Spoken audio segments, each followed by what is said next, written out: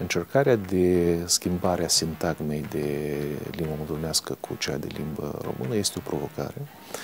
Este o acțiune îndreptată împotriva a peste 70% uh, din cetățenii Republicii Moldova. Respectiv, uh, o astfel de inițiativă ea nu poate fi acceptată.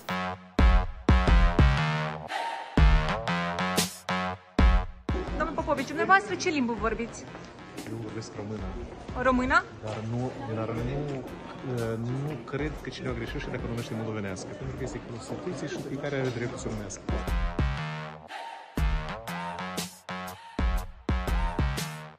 Deja pe parcursul la 2 ani de zile, cel puțin, șeful statului promovează ideea necesității introducerii în școală disciplinei de istoria Moldovei.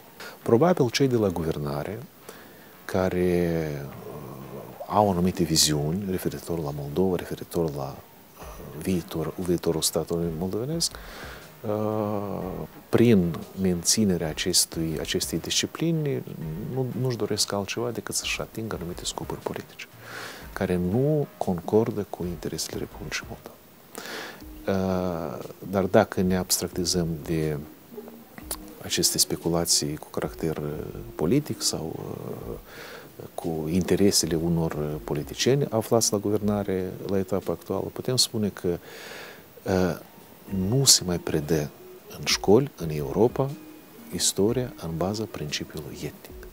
Istoria trebuie să fie predată în baza unor principii moderne, unor principii care uh, să evite uh, etnocentrismul. O să rămână în uh, curiculă istoria românilor? Sigur că da. Nu o să fie nicio schimbare uh, uh, în curiculă, va fi continuată doar acea reformă curriculară care s-a inițiat în ultimii ani. Schimbări în curiculă decât despre care vorbesc de nu vor fi.